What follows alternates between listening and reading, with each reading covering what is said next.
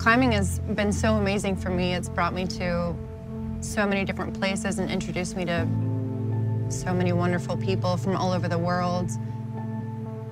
And I just want to continue to explore and expand. I'm from Plano, Texas, where there are no rocks. So I started in the gym and I got introduced to a youth team when I was about 10 with my coach. I started competing, fell in love with it, and every summer he would take us out to the Red, and every winter he would take us out to Waco.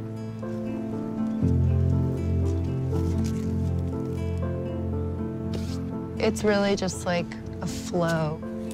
Like, it's so instinctive to me now. It comes very naturally. Like, you get on the wall, and it's like your body just knows how to move, and it's just enjoying it, like enjoying where you are and kind of soaking up the moment that you're in.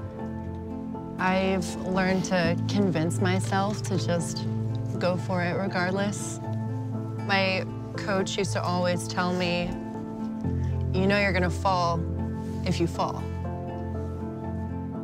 And so if you go for it and like you you go into it just like expecting that you're gonna get it, then maybe you have a chance. But if you expect that you're gonna fall, like of course you're not gonna make it. So you just learn to convince yourself to go for it no matter the circumstance.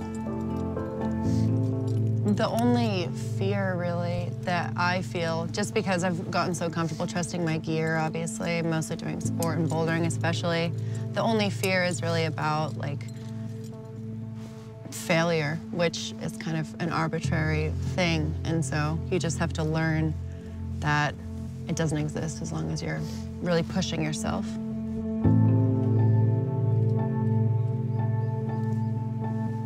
Having not very many rocks in my proximity, I think it's just made me appreciate it even more.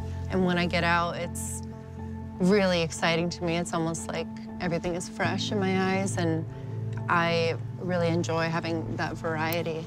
And so getting to travel and getting to explore all these different places is amazing. It's my favorite part, all the people that I've met and the places I've gotten to see.